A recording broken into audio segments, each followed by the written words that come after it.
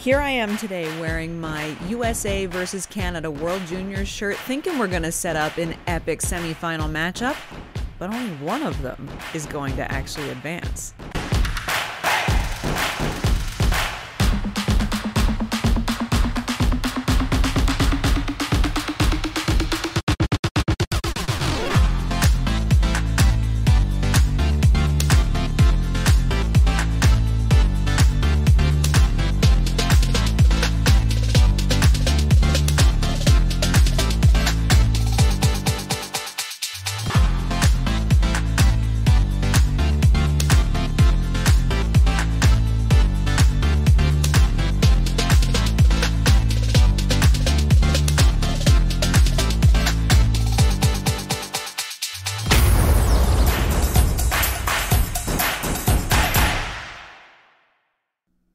Well, hello everyone. Welcome back to this week's episode of Habs Hockey Report right here on the All Habs Hockey Magazine YouTube channel, part of Rocket Sports Media. You can find us at home uh, on our website, allhabs.net. Also, follow us at all Habs on Twitter. So glad that you're here with us today. My name is Amy Johnson, and I'm your host of the show every Thursday. I'm also the lead correspondent over at our sister site, AHLReport.com, where we provide credentialed coverage of the Laval Rocket and all Habs prospects. And uh, we're glad you're here today. If you are a longtime viewer, or perhaps this is the first time that you've stopped by the channel and seen the show because you're just hungry for some Habs hockey to come back, welcome aboard. Hit that subscribe button and the notification bell if you haven't done so already, because we are really counting down the weeks until uh, the meat and potatoes of the season really starts and we get into rookie camps and so forth. And we're going to have exclusive interviews coming your way here on the show, lots of news, lots of coverage not like anything you're going to see on any other channel, and we don't want you to miss a single episode. So tap that subscribe button and let's get underway.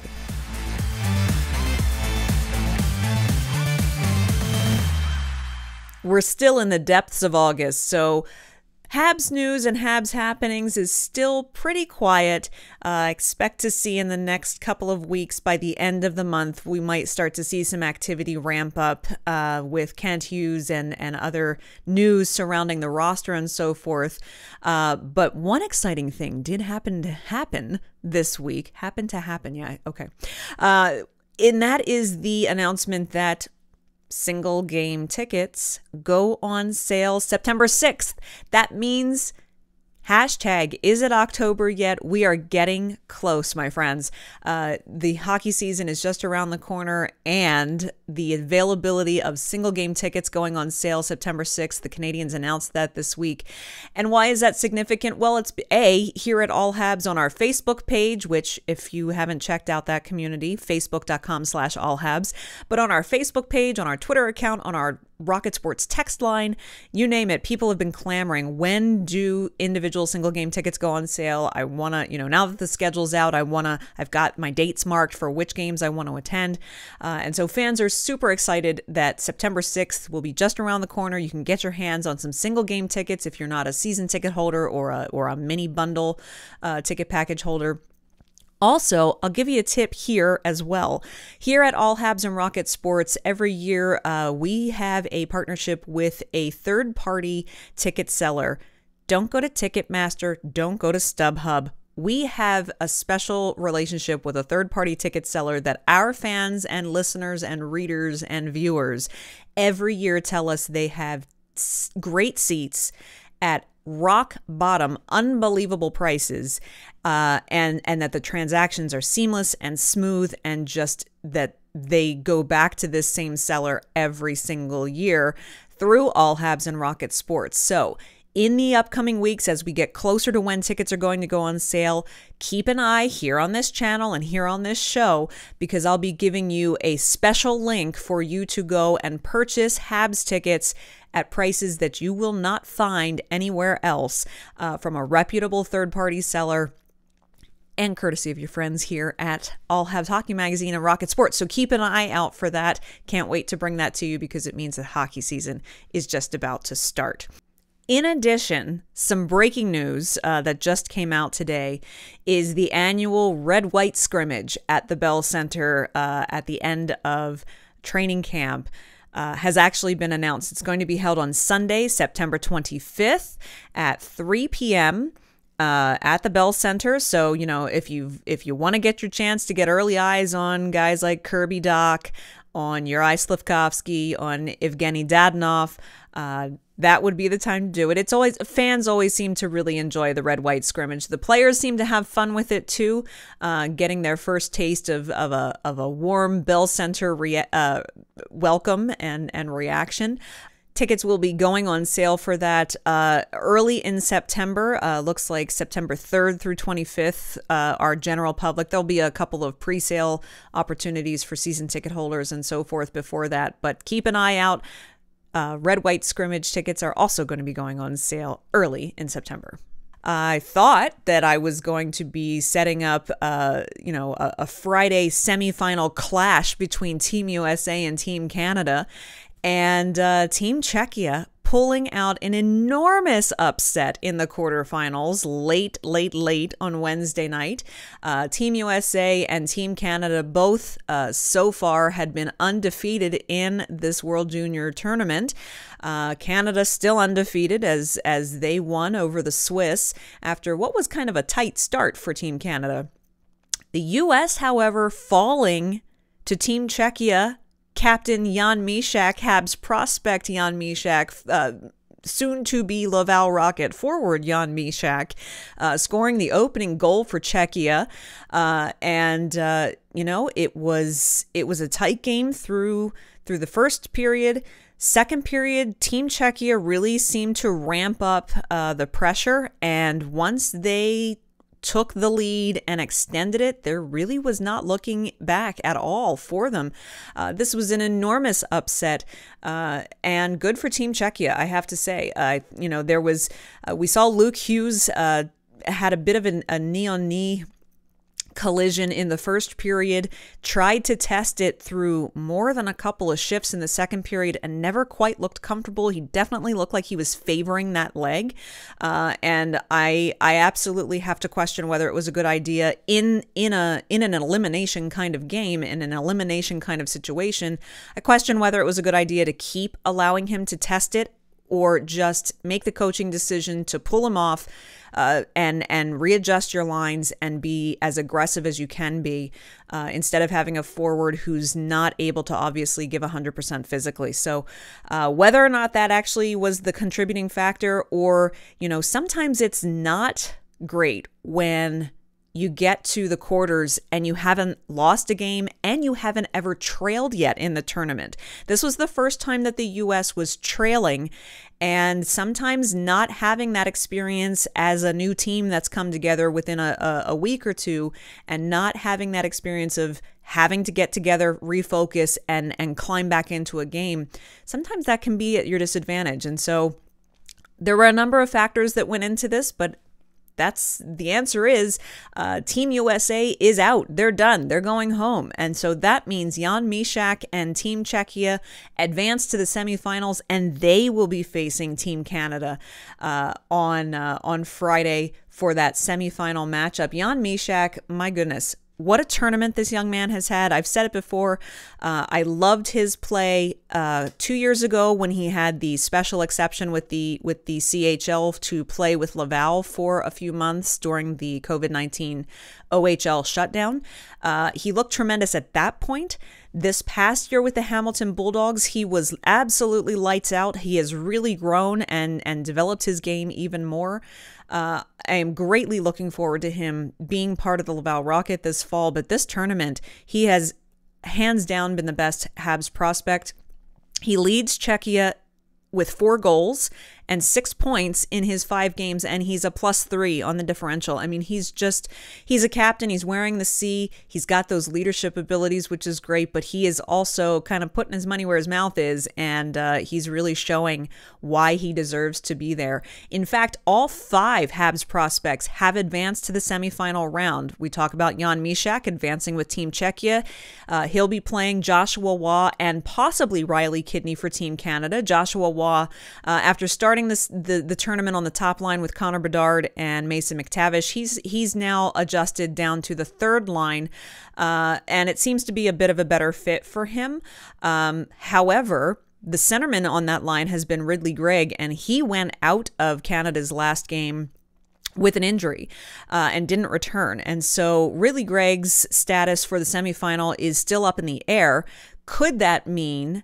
Uh, that's a big loss for, for, for Canada for sure if he is if he's unable to go uh, because he has been one of the biggest contributing factors uh, off aside from that top line of Bedard and McTavish uh, on on Team Canada's roster. However, if Ridley Greig can't go, does that provide an opportunity for Riley Kidney to finally get some playing time? He has been a healthy scratch for the bulk of the tournament, so maybe we will see Riley Kidney get some playing time as well on Friday that is still yet to be determined. Uh, Finland also advancing. Uh, you have Czechia versus Canada, but of course we'll have the perennial clash of the Swedes versus the Finns in the other semifinal. Uh, so that means Oliver Kapanen and Petteri Nurmi uh, will be take will be playing with Team Finland taking on Team Sweden. Kapanen getting his first goal of the season early uh, of the tournament earlier this week. So, an exciting couple of semifinal matchups ready to go for this weekend. Uh, it'll be very it'll be interesting to see who's going to make it to the gold medal game uh, and who's going to come out on top with this tournament. Uh, big upset with the U.S. leaving, and congrat. I want to say this: congratulations to Team Latvia for doing something that I that I doubt they thought they were going to do when uh, that anyone thought they were going to do when they entered this tournament with Russia being removed and banned. Uh, making it uh, to the quarterfinals. I mean, that's just it's absolutely tremendous for them. You could see the sheer joy, and it's so it's one of the things that just makes the World Juniors so much fun to watch. Uh, a team, however, that did not make the quarterfinals, which I think surprised some, was Team Slovakia. And uh, they were eliminated. Uh, they were eliminated after group play and did not qualify to move ed- move ahead to the quarterfinals. Um, it's interesting because they were a very Slovakia was a very strong team back in December.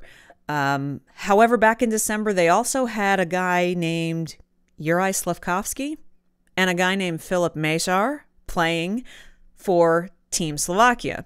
Those two, along with and the Montreal Canadiens, all came to an agreement that they would not return to the World Junior Tournament for the August postponement. And that left Slovakia without a couple of pretty big guns uh, in in their forward line. Slovakia still looked good. Um, I think when we see them come back in December for the 2023 tournament, I think we'll see uh, a, a much maybe stronger team, but certainly a disappointment for Team Slovakia that they did not make it to the quarterfinal round. However, they did have things to celebrate.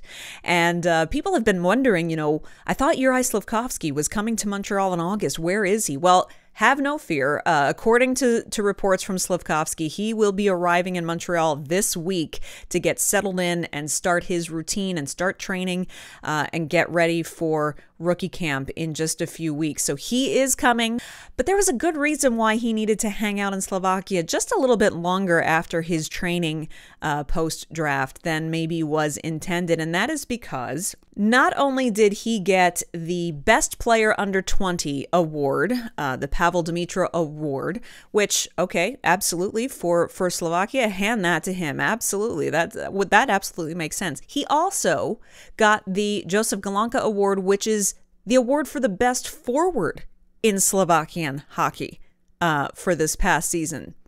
That's not too shabby either for this young man.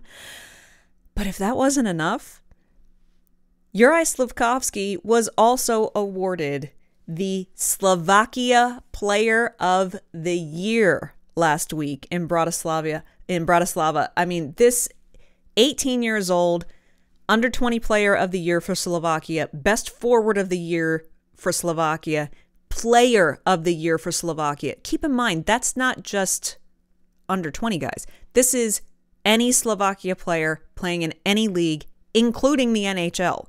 Um, what a tremendous uh, trio of of accolades for for Juraj Slafkovsky. It's an exciting year for him, I have to say, um, and it just goes to show how much the people of Slovakia, the the media and his peers in Slovakia think of his abilities and his talents and his skills.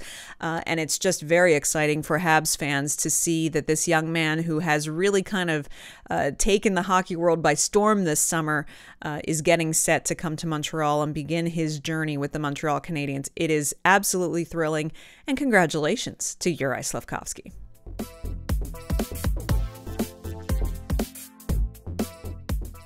We're going to keep the Habs Fan Hub short and sweet this week.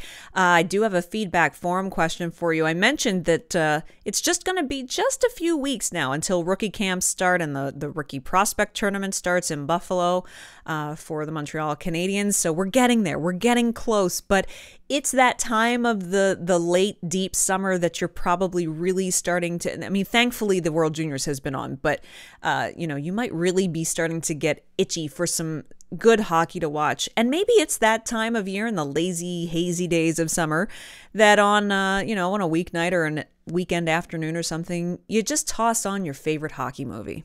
Have a beverage, grab some snacks, and toss on your favorite hockey movie. Get get that get that hockey fix. So uh, that's my question for you this week. What's your favorite hockey movie? There are so many of them out there. I mean, you've got Slapshot, you've got Goon, you've got The Mighty Ducks, you've got Miracle. You've got, there are so many hockey movies out there. Which one's your favorite? Leave that comment down below. We'll read your answers next week on the show. Last week I we talked about uh, the fact that the Hockey News had put out a poll to their fans asking if the NHL should move to individual player goal songs as opposed to team goal songs. And so the question last week was if you had the opportunity to select your own individual goal song, what would it be? Uh, we actually had uh, Jay Falardo answered and said uh, for whom the bell tolls, which that's a great choice. That's that's a very good choice. Um, uh, I would say for me, it would kind of. I love music. I love. There are not many genres of music that I don't like. There's not many eras of music I don't like. But I think if I had to pick a couple that I would be choosing from. It would kind of depend on what kind of fun mood I was in. Could it be Fight for Your Right to Party by the Beastie Boys? Maybe. Or could it be Ballroom Blitz by Sweet? I think that might be the one I go with. That would be pretty fun. Uh, you still have time to answer that question as well. If you want to answer that in addition to this week's question, just leave those comments uh, down in the section below, and I'll be sure to read them next week on the show. We're here every week to get you all set for the season ahead, bringing you all the latest Habs news and information as it happens all summer long. If you missed last week's show, be sure to check it out right here, and I'll see you again next Thursday for a new episode of Habs Hockey Report.